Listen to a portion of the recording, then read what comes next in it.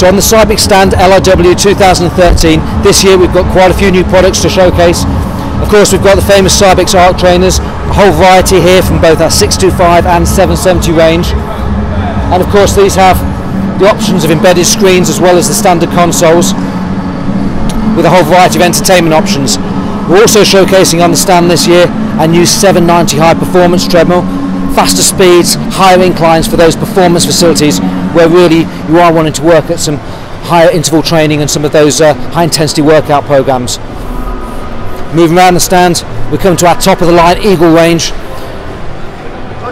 Independent movement patterns, dual axis, really working all those stabilizing muscle groups when you're training on these pieces of equipment.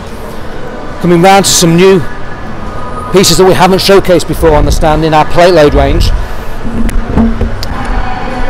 This is the new plate load hamstring curl, working both legs unilaterally, so get balanced development across both legs. Great for sprinting activities and those field sport, uh, high performance run activities. Through to our big iron platform, heavy duty, heavy lifting power racks, high performance platforms. And then coming round to another brand new piece that we've got on the stand this year, the glute ham raise, working that whole posterior chain, glutes, hamstrings, lumbar spine, for a whole variety of performance-based exercises. Going through to our selectorized range, we have a variety from our VR3 IFI range, allowing wheelchair access, raised iconography for visual impairment, and some great adaptations on these machines for disabled users.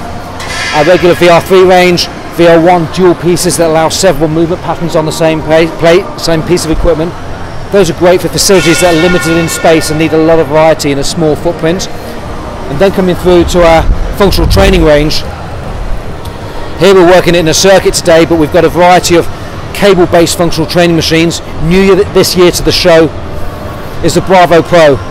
Bigger, heavier weight stacks, longer cable travel, 4 to 1 ratio to allow you to move at higher movement patterns, movement speeds. Another great piece of kit for both functional training and performance training. So I think we're going to have a really interesting show this year.